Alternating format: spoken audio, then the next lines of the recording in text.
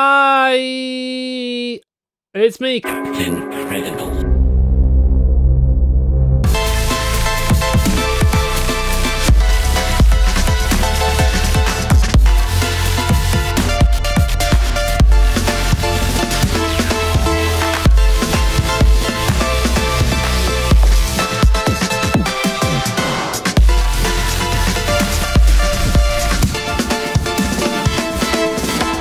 Thanks.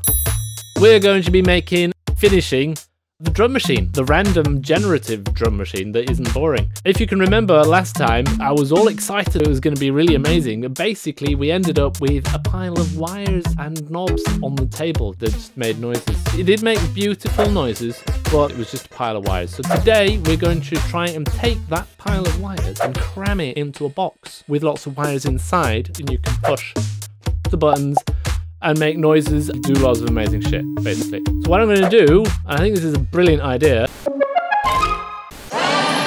I'm to take just an ordinary aluminium Hammond case and I'm going to spray paint it with one of these, an ordinary spray painting thing, purple color. The plan is then I will literally use the laser to burn away the paint into a beautiful pattern and hopefully it'll just look brilliant and nothing will go wrong. Another brilliant idea I've had Instead of just kind of eyeballing where the holes go, I'm going to laser cut a bit of wood that already has little guide holes. Then I'm going to drill through those guide holes into the box underneath, and that way I'll get the holes perfect and beautiful. So um, that is that is definitely going to work.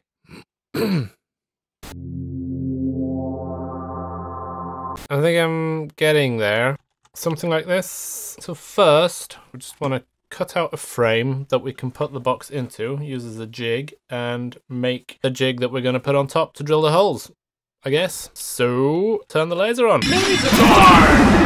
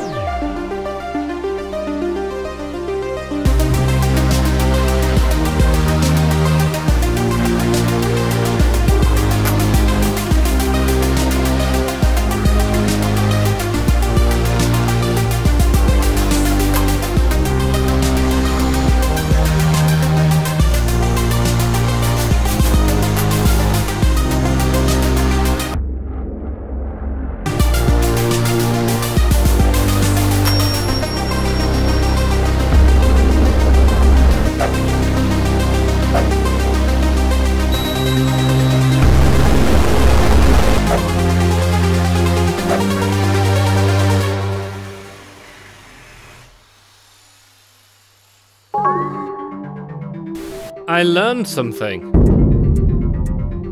I learned that drilling really, really big holes in aluminium enclosures is a little bit difficult, even with amazing laser jigs. Next time, I'll probably try and get hold of a drill press. I mean, the holes are almost in the right place. Uh, these ones on the back, I didn't even have a jig for them, so that didn't turn out very great but at least I managed to fit all the holes on there. One thing I didn't manage to fit all of is the wires. There's too many wires in here. I'm gonna have to try and cut some of the wires down. Wish me luck.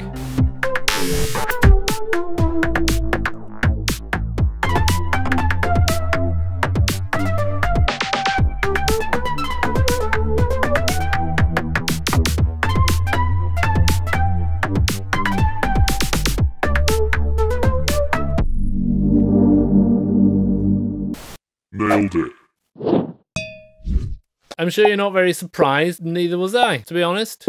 You'll be uh, glad to find out that I didn't actually cut down all the wires and make lots of extra space in there. That would have been stupid. I used a far more sophisticated technique called brute force. Where you basically just cram all the wires in there. Just fucking get them in and screw the screws in and that seems to have worked just fine i've actually tested it and uh, it still makes the noises and hopefully i'll never have to open it again now it's the time of for it's of the code time for the computer in let's code bitches.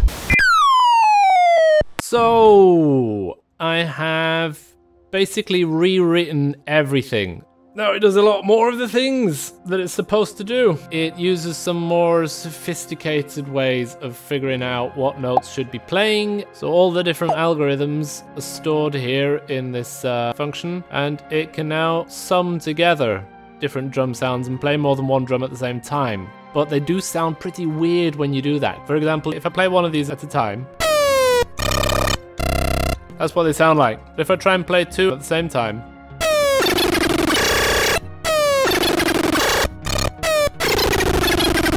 It mixes them in a really weird way. It's more a mix of the algorithms than the sound, really.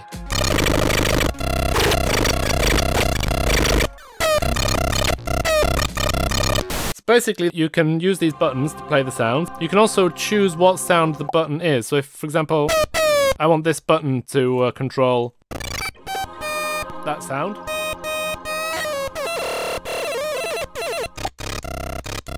I can also uh, decrease the clock frequency.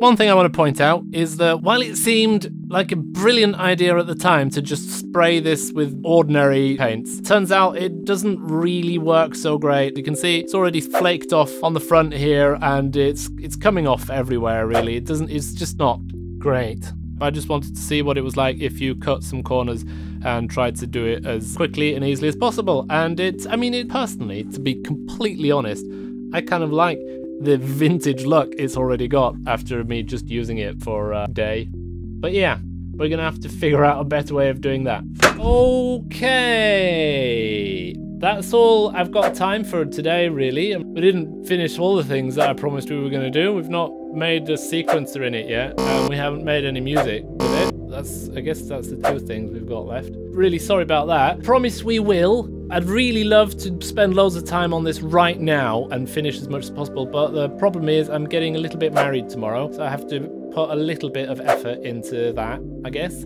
I really want to make this into a kind of a finished, cool thing, a proper instrument that I can use to make music and that possibly I can also sell.